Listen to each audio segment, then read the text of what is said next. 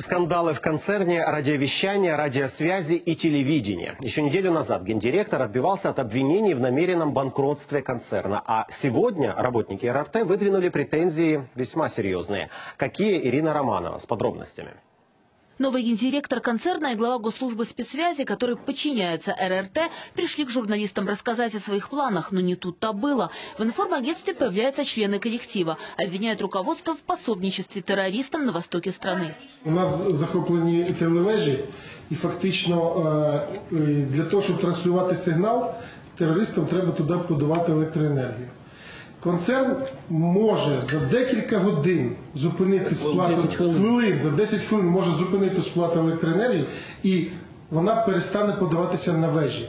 І ні ДНР, ні ЛНР не зможе транслювати свій сигнал. Починаючи з 25 травня 2014 року, е, новим генеральним директором концерну РТ Півнюком е, були проплачені, була проплачені кошти за електроенергію. Це по Донецькій і Луганській областях.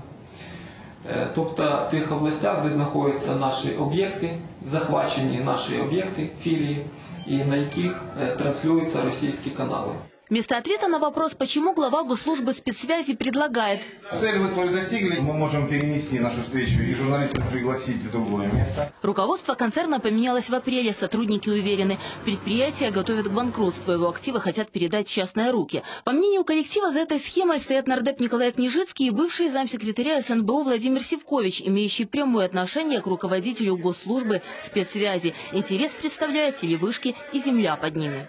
Люди сегодня в этой стране должны понять, с кем мы имеем дело, кто стоит во главе таких организаций, как Держспецсвязь, концерн РРТ, кто обеспечивает стране информационную безопасность, Ответ организаторы брифинга все же дали, но уже в другом месте, в здании госслужбы спецсвязи. Членов коллектива туда не пустили. И тут же обвинения, которые выдвигали им, переадресовали предшественникам. У концерна очень много э, э, не, м, как это сказать правильно, неотчужденной земли. Да. То есть концерн РТ это антенные поля, это большие территории, которые являются лакомыми кусочками. Тем временем коллектив собрал свои материалы на новое руководство и отправил их в ГПУ СБУ. Ирина Романова, Валентин Белич. Подробности. Телеканал Интер.